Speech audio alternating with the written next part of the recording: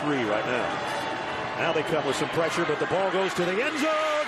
Touchdown, Trevon Grimes. My goodness.